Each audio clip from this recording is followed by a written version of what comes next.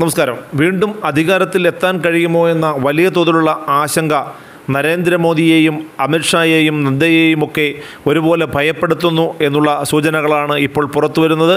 കഴിഞ്ഞ ദിവസം ഇന്ത്യ ടുഡേക്ക് അനുവദിച്ച ഒരു അഭിമുഖത്തിൽ അത് നരേന്ദ്രമോദി വ്യക്തമാക്കുകയും ചെയ്തു. നാനൂറ് സീറ്റിന് മുകളിൽ അധികാരത്തിൽ വരുമെന്ന് പലപ്പോഴായി താങ്കൾ പറഞ്ഞിട്ടുണ്ടല്ലോ. അങ്ങനെ തന്നെയാണോ ഇപ്പോഴും ചിന്തിക്കുന്നത് എന്ന ഇന്ത്യ ടുഡേ ലേഖകന്റെ ചോദ്യത്തിന് മറുപടിയായി നരേന്ദ്രമോദി പറഞ്ഞത് താൻ ഒരിക്കലും അങ്ങനെ പറഞ്ഞിട്ടില്ല തന്റെ കൂടെയുള്ളവരും അങ്ങനെ പറഞ്ഞിട്ടില്ല. പക്ഷേ അത് ജനങ്ങൾ പറഞ്ഞ കാര്യമാണ്. താനൊരു ജനസേവകനാണ്.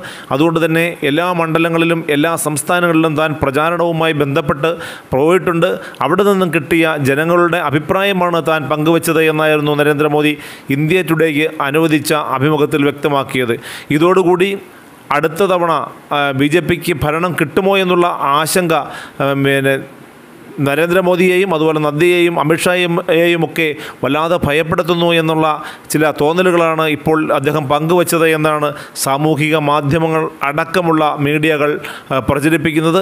അടുത്ത തവണ ഇന്ത്യ മുന്നണി അധികാരത്തിലേക്ക് വരും എന്നുള്ളതിന്റെ ചില സൂചനകൾ നരേന്ദ്രമോദിക്ക് പലപ്പോഴായി കിട്ടിയിട്ടുണ്ട് എന്നും അത്തരത്തിലുള്ള ഭയാശങ്കകൾ അദ്ദേഹത്തെ അലട്ടുന്നുണ്ട് എന്നും അതിന്റെ മറവിൽ നിന്നുകൊണ്ടാണ് ഇത്തരം കാര്യങ്ങൾ സംസാരിക്കുന്നത് എന്നുമാണ് പല മാധ്യമങ്ങളും ഇപ്പോൾ റിപ്പോർട്ട് ചെയ്തുകൊണ്ടിരിക്കുന്നത്. പ്രത്യേകിച്ചും അന്തർദേശീയ മാധ്യമങ്ങൾ ദേശീയ മാധ്യമങ്ങളൊക്കെ ഇപ്പോൾ റിപ്പോർട്ട് ചെയ്തുകൊണ്ടിരിക്കുന്നത് വീണ്ടും പിന്നെ ബി ജെ പിക്ക് അധികാരത്തിലേക്ക് എത്താൻ കഴിയില്ല എന്നും ഇന്ത്യ മുന്നണി അധികാരത്തിലേക്ക് എത്തും എന്നുള്ള ചില സൂചനകൾ ലഭിക്കുന്നുണ്ട് എന്നുമാണ്. മാത്രവുമല്ല B J P sorry India മുന്നണി വീണ്ടും അധികാരത്തിലെത്തിയാൽ രാമക്ഷേത്രം തരിപ്പണമാക്കും നശിപ്പിച്ച് കളയും എന്നൊക്കെയുള്ള ചില പ്രസ്താവനകൾ നടത്തിയതും ഇതിന്റെ മറവിൽ നിന്നുകൊണ്ടാണ് ഇത്തരം ചില സൂചനകൾ ഇത്തരം ചില തോന്നലുകൾ അദ്ദേഹത്തിന് ഉണ്ടായിട്ടുണ്ട്.